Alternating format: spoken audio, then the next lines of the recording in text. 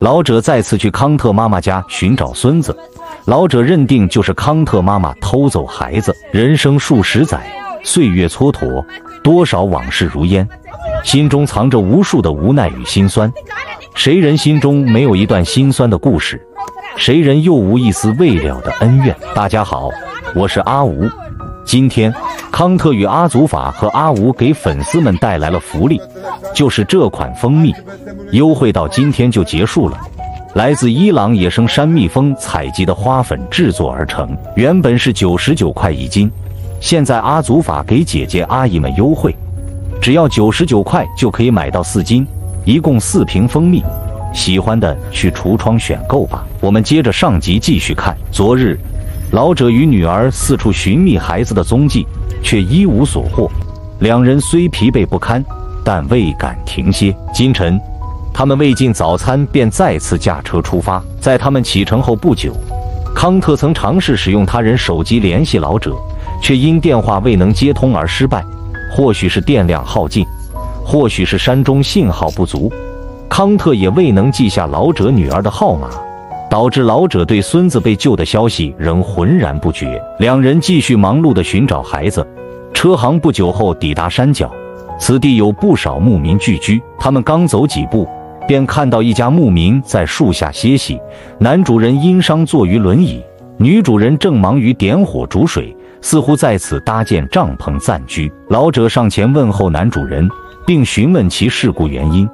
得知男主人在放牧时不慎跌落受伤。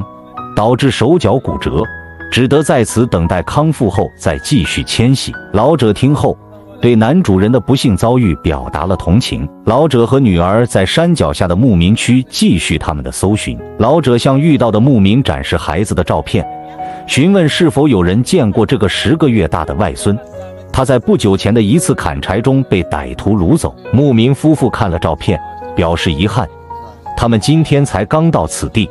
未曾见过这个孩子，女主人建议老者去询问另一边的牧民，因为他们在此地居住已久，可能有更多的信息。女主人热心地带领老者和女儿前往对面的山坡，指向一个山洞，提到之前有位母亲和孩子在此。老者和女儿进入山洞，但并未发现任何与孩子有关的线索。他们感谢了牧民的帮助，然后驾车离开，继续他们的搜索。在路上。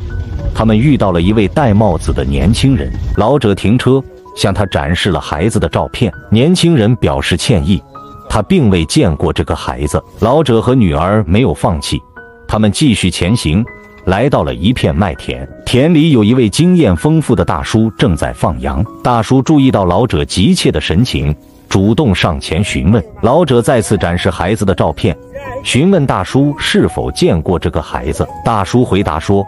尽管他最近一直在附近放羊，但确实没有见过这个孩子。老者和女儿的搜寻还在继续，他们没有放弃任何一丝希望，尽管每次询问都以失望告终。他们知道，只有继续寻找，才有可能找到孩子的线索。从破晓时分开始，老者和女儿便踏上了寻找孩子的旅程，但直到现在，他们仍未获得任何线索。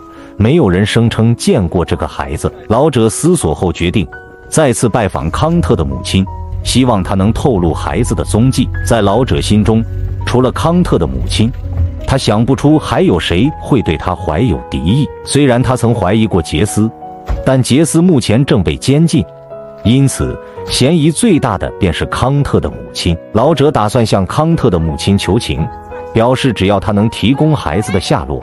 即便他承认与孩子的失踪有关，老者也愿意放弃追究，只求能找回孩子。经过近四十分钟的车程，老者和女儿到达了小屋。女儿下车后，直接向母亲所住的小屋走去，但当他正要掀开门帘时，却被母亲拦住。康特的母亲一看到老者和女儿，脸色立刻由喜悦转为阴沉。他质问他们为何再次造访。老者试图缓和气氛。向康特的母亲道歉，并表示愿意和解，承诺只要孩子能回来，他将不再追究任何责任，并保证不再干涉他家的事。然而，康特的母亲坚称自己无辜，他否认了所有指控，并要求老者和女儿提供证据。若真有关联，他愿意接受法律的制裁。在一番争执后，康特的母亲愤怒地要求他们离开，并警告说，如果他们不离开，他将不得不采取行动。老者和女儿无奈，只得再次失望地离开，继续他们的寻找之旅。尽管康特的母亲信誓旦旦地否认与孩子的失踪有关。老者和他的女儿仍然怀疑他与此事有关。老者向他承诺，只要孩子能被归还，即使真是他所为，他也不会追究。面对老者和女儿的坚持和怀疑，康特的母亲感到愤怒，对他们大发雷霆。在强烈的思念和情绪驱使下，老者的女儿冲向康特的母亲，泪如雨下。同时痛斥他，要求他立刻归还自己的孩子。老者也警告康特的母亲，如果不交出他的孙子，他将不会手软。康特的母亲回应说，即使他知道孩子的下落，也不会透露。这句话激怒了老者，使他更加确信康特的母亲与孩子的失踪有关。与此同时，康特实际上正和孩子在一起，并且他今天曾试图联系老者。但由于老者忙于寻找孩子，未能及时给手机充电，导致他错过了康特的两个电话。如果康特的母亲真的与孩子的失踪无关，那么他确实有足够的理由感到烦恼和愤怒。自康特离去，康特的母亲便再未享受过片刻安宁。老者曾因康特之事频频上门，现又因孙子失踪而不断来访。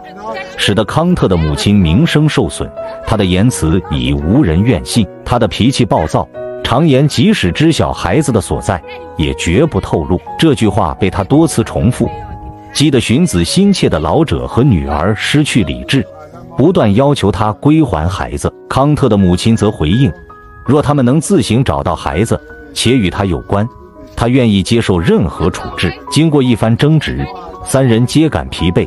老者逐渐冷静，开始怀疑这位母亲或许真的不知情。老者心中充满疑惑，不解孩子怎会无迹可寻，自己又在何时何地得罪了人？康特的母亲态度略有软化，不再用言语激怒他们，而是劝他们去他处寻找，不要再来打扰。他坚称自己没有孩子的消息，并希望康特能出现在小屋中。然而，康特正带着老者的孙子寻找阿祖法母女。康特计划夜晚前往老者家，但能否顺利与老者相遇，仍是未知。视频最后，阿武感谢大家的支持，蜂蜜在橱窗，喜欢的去看看吧。